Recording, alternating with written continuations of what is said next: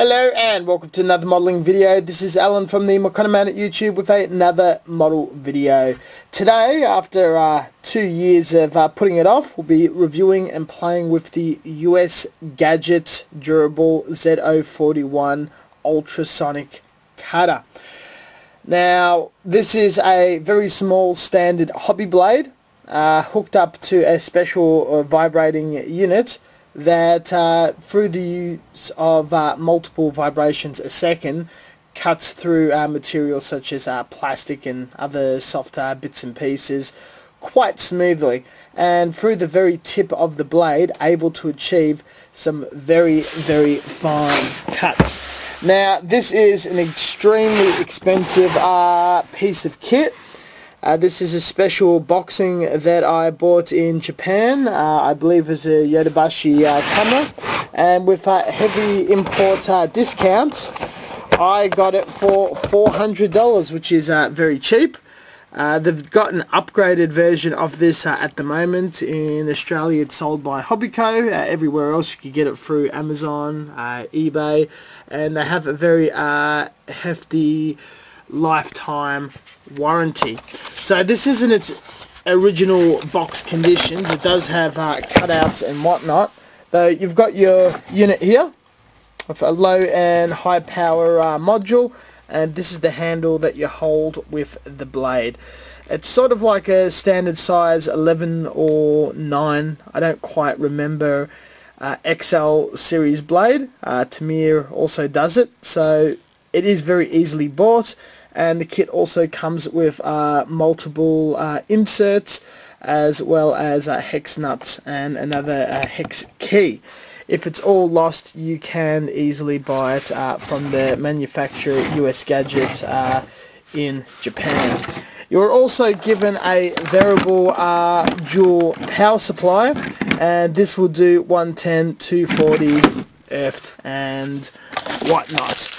Uh, this is the little pack that comes with uh, ample amounts of uh, blades and I'm uh, not even a tenth way through. The boxing I received comes with uh, instructions all in Japanese. Uh, there is ample amount of pictures to help you out.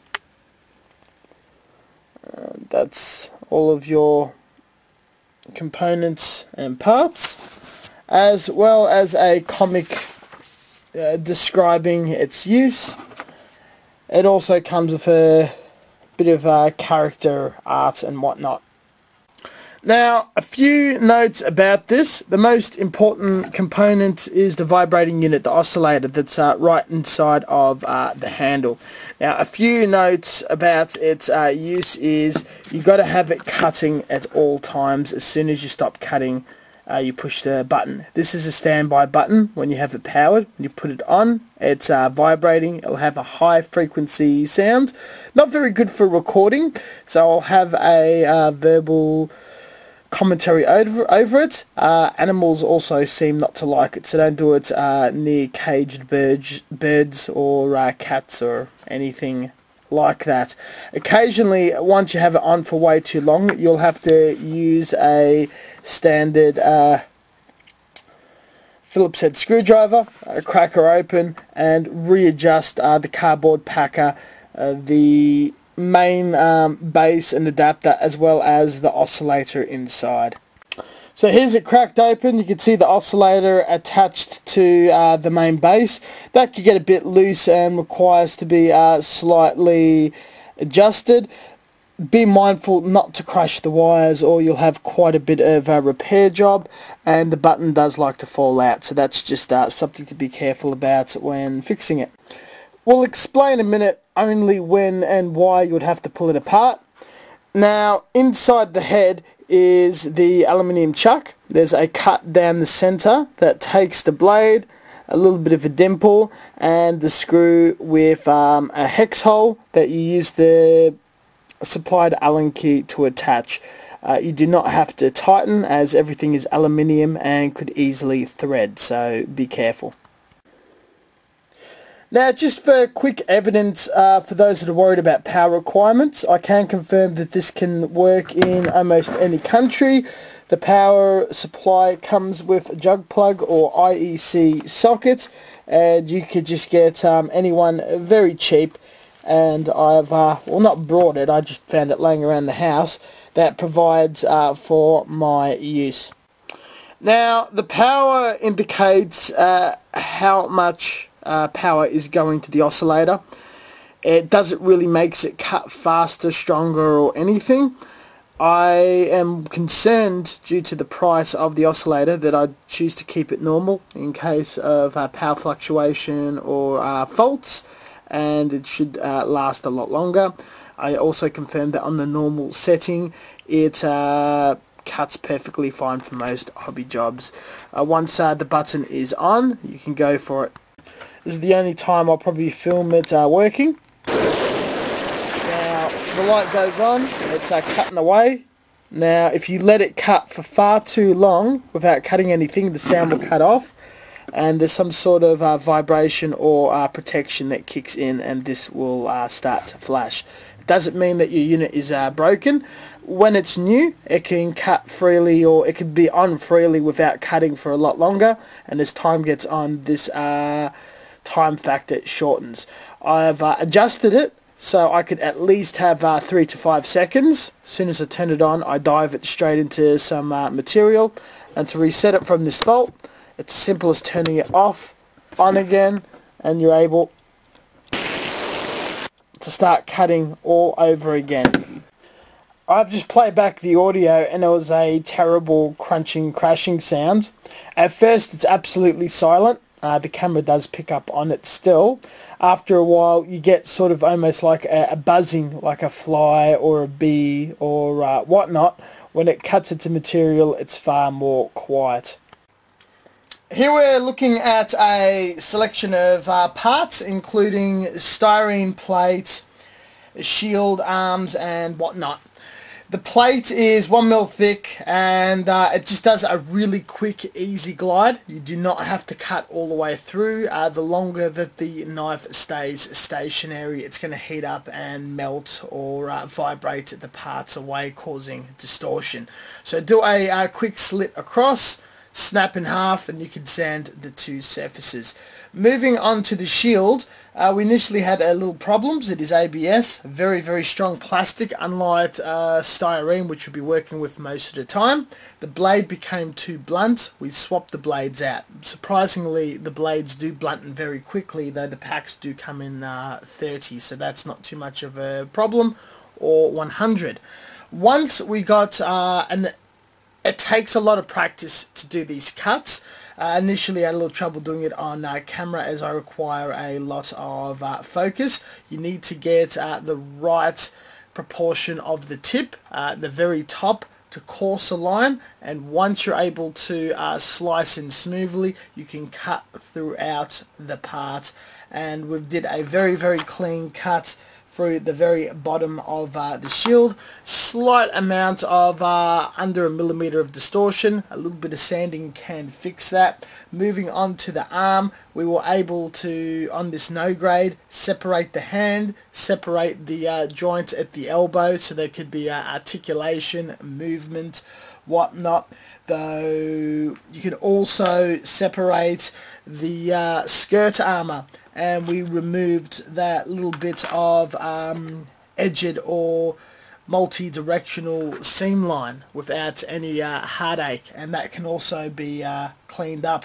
The last one which is the most impressive to me is cutting a hole in the middle of something as quick as it did. Again the edges can be slightly crooked. It all goes down to uh, practice of the use of this. It took me a long time until I could get some uh, decent cuts uh, going. Though using a hobby knife and a bit of sandpaper you can clean up that square and have open panels in your kits. Now this is an example of an object I've uh, did quite a bit of cutting with the ultrasonic cutter. So we've got these two little thin cutouts at the very top. Though the bottom you can see there's quite a bit of symmetrical intricate cutting and cutting in the uh, center of uh, the piece. This is probably some of the finer work you can get away with and due to the sheer speed that you can glide through material or chop up parts and slice very fine mechanical detail of scrap kits and glue it onto an existing kit. We've got like one piece here that's been heavily uh, modified with the knife. Again, this tool has a lot of limitations, though it also has a lot of possibilities. It's just working to the most top tip of the blade, coursing the material, and then diving in deep. It can go very smooth. Once you have uh, resistance, your blade is either too blunt or you're going in at the wrong angle.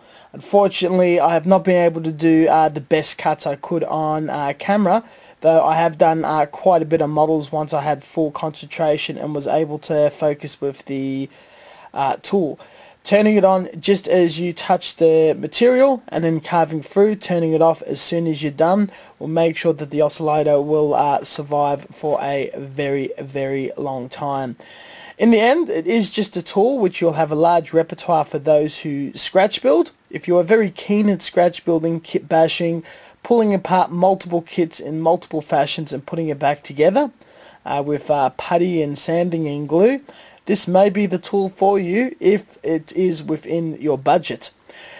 Uh, for those who do a lot of straight building and just looking for cleaning up uh, nubs or um, working with resin or other things, maybe not the best for you. It does struggle with very solid uh, material. Uh, it's something just uh, has to be kept in mind. Now, the US Gadget is an older machine, and there are a few newer models um, appearing, both by uh, US Gadget that's updated, though I'm also keeping an eye on a Kickstarter model which is substantially cheaper and shall be uh, ready for release fairly shortly.